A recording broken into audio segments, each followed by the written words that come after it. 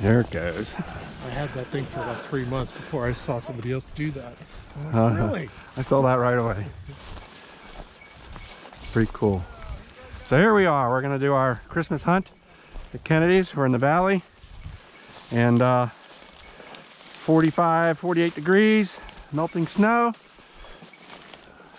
Let's see how we do today.